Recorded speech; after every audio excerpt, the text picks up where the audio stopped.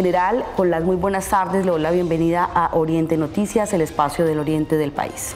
Buenas tardes y muchas gracias nuevamente por la invitación, por permitirnos compartir este espacio que es muy importante para nosotros, eh, compartir las diferentes circunstancias en las que vive la seguridad del área metropolitana con toda nuestra ciudad. Vamos a iniciar con todos aquellos temas positivos que van relacionados con los uniformados que tiene la institución en Cúcuta y el área metropolitana. Sabemos que este comando de la Policía Metropolitana de Cúcuta comprende todo lo que es Cúcuta, la zona urbana, la zona rural, pero también comprende municipios muy cercanos como Los Patios, Villa del Rosario, El Zulia, San Cayetano, Puerto Santander y también sectores como la Yedi Astilleros que también vienen siendo no solamente ahora, sino con el transcurso de los años muy complejos para el tema de la seguridad, porque también allí también tienen la incidencia hacia Sardinata, hacia otros pueblos como la región del Catatumbo en el municipio de Tibú. La policía la vemos a diario en las calles, sabemos que es un trabajo 24/7 que viene desde eh, los oficiales y todos los mandos cumpliendo con su labor, con su ejercicio.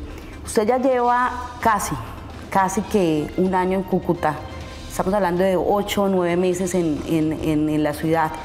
¿Qué tanto o qué reto para usted como oficial en su grado general ha sido llegar a esa ciudad como Cúcuta?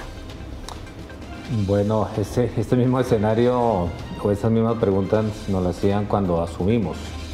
Y les decía que la región norte santanderiana y de manera particular el área metropolitana tiene grandes retos y, tenemos que hacer el contexto y hacer la lectura apropiada por las circunstancias que se presentan. En ese orden de ideas hemos eh, focalizado los esfuerzos en cuatro escenarios. Uno de toda la línea de frontera, otro con el propósito de afianzar nuestras capacidades en el sector rural, otro en el sector de las comunas y un sector que tiene el nivel de importancia y de relevancia es que todo el centro del comercio en la ciudad de Cúcuta, por lo que significa para Norte Santander y para todo Colombia. Vamos a desglosar cada uno de esos cuatro sectores que usted me menciona anteriormente. Por ejemplo, en el tema comunitario. Hemos conocido a través de este espacio de Oriente Noticias, de hecho hemos hablado a través de la institucionalidad cómo se viene haciendo un trabajo en conjunto con las diferentes juntas de acción comunal, a través también de eh, las zonas rurales, llegar a, a corregimientos como San Pedro, como el sector de Banco de Arena y cómo a través de grupos de WhatsApp, ustedes a través de, los mismos oficiales, de los mismos uniformados, de los mismos cuadrantes, vienen llegando a través de esas comunidades y dando la buena imagen institucional. Ese, es un aspecto que es sumamente importante dentro, la, dentro del andamiaje y dentro de todas las estrategias que se realizan para el control ciudadano. Porque es importante nuestros líderes comunales y todos los eh, representantes de los diferentes sectores productivos de la región, porque ellos tienen la información de primera mano.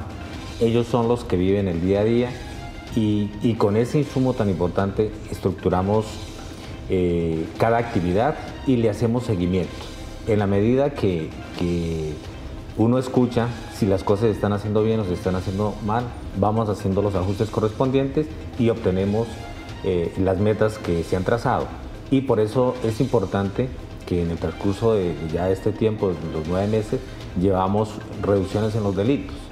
Que hay un aspecto que también es de, suma importancia, que es el tema de la percepción, y a través de esos trabajos que estamos haciendo con las comunidades, estamos eh, realizando ese seguimiento, eh, comunicándole oportunamente lo que se hace en temas de convivencia y seguridad y, digamos que hemos mejorado notoriamente. Falta mucho camino por recorrer, muchas cosas por realizar, pero vamos por un buen, buen sendero en este momento.